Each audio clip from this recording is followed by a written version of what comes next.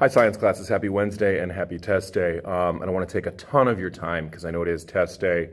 Um, I'm going to actually have a couple of these ready for today, your intro here, and then one where I go through the uh, test that uh, obviously won't be posted publicly because um, it has the test. Um, a couple quick things before we get on to the test portion of the day, though. Um, as you know, when we finish a unit, missing work is due. Uh, we did a cheat day on Monday. Uh, I know it wasn't necessarily fully direct as it sometimes is. So I do want to mention um, anything you might still be looking for. Uh, the Ed Puzzle um, was notes, Ed Puzzle waves, how waves are transmitted through various materials, PowerPoint notes. That was basically how to do it.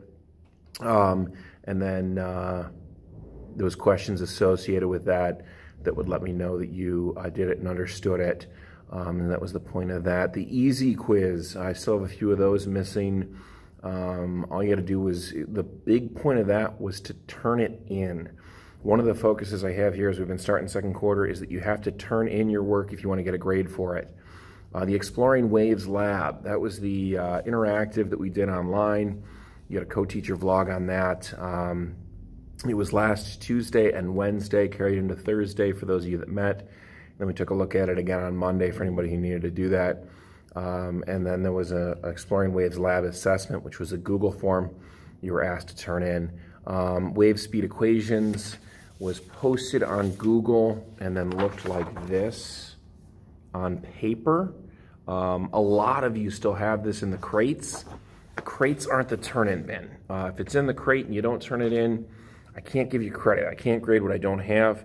Um, same kind of concept if you don't actually hit turn in on Google um, and it's there in the Google form still, and you got to turn it in for me to be able to see it and actually grade it. So that's um, that's the wave speed equations. Wave CFA study guide, um, obviously that is a uh, optional assignment.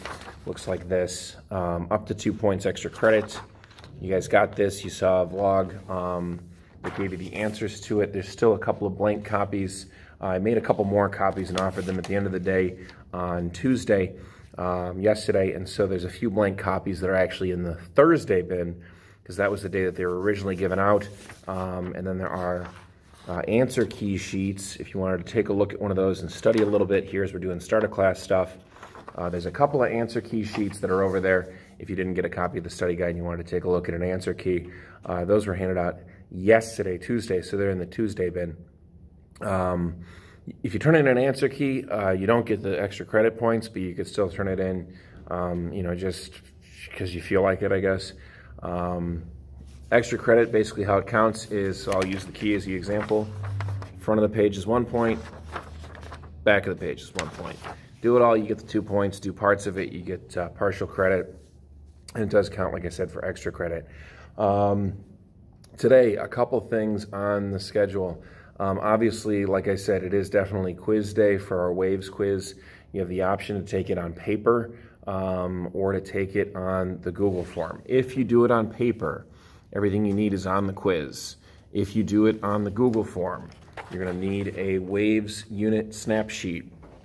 Um, it says Waves diagnostic pictures page, but it is actually the uh, snap sheet for the whole unit, and I updated that going into the next unit, and it's going to be a little bit better.